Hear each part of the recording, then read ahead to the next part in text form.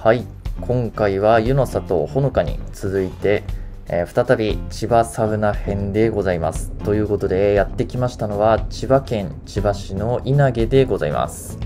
今回は全国に数多くの店舗を構える極楽湯の稲毛店に行っちゃおうということで稲毛駅より路線バスに乗って目的地へ O2 パークというバス停で下車しました。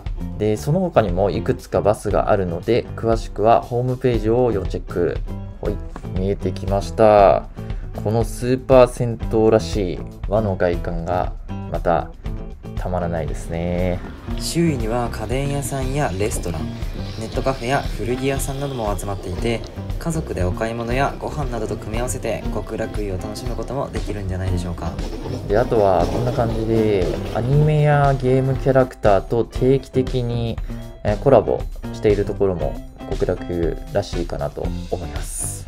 というわけで入場でございます。受付を抜けると開放的なお食事どころがありましてすごく広々してて居心地が良さそう。温泉施設おなじみのゲームコーナーでございます。いや僕たちもね小学校時代一緒に某スーパーのゲーセンよく行ってましたよね。ちょっとした空き時間にお子さんと楽しむのもいいんじゃないでしょうか。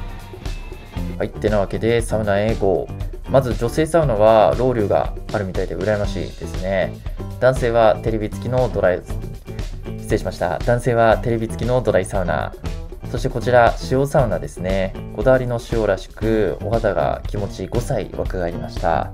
そしてこちら水風呂ですね温度計が結構マイルド表記だったんですけどもうキュッと冷たくてですねおかげさまで2週目にして、えー、整いを通り越して半分気絶をしているんじゃないかというようなですねディープリラックス状態と誘われましたえー、喋りすぎて済んでしまいましたけれども、まあ、このような感じでですね、豊富なお風呂もご用意されております。さすが極楽さんでございます。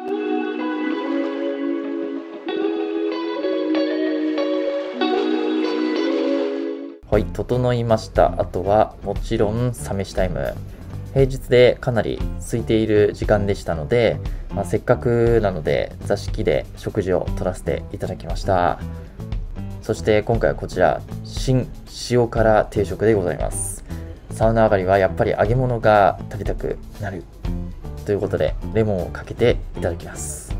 たまにマヨネーズなんかもつけちゃいます。衣がサクサクで中ジューシー。神経が活性化されている味覚が大爆発を引き起こしております。メニューはこんな感じ。豊富なグランドメニューに限定サ飯メニュースイーツなどもうさすがとしか言いようがありません。そしてこちらお土産コーナーですね。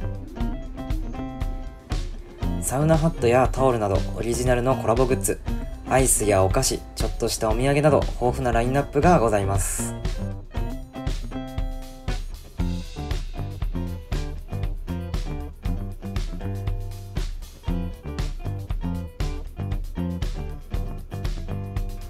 はい、そんなこんなで今回も充実の温泉サウナ日和でございました。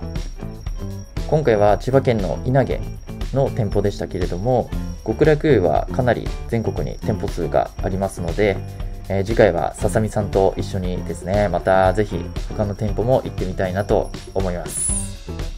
で今回バスで来ましたけれども、まあ、駐車場もかなり広くて車でもきやすいのでご家族で行かれるのもかなりおすすめかなと思います。はいということで今回は極楽湯の千葉県の稲毛店でございました。それでは。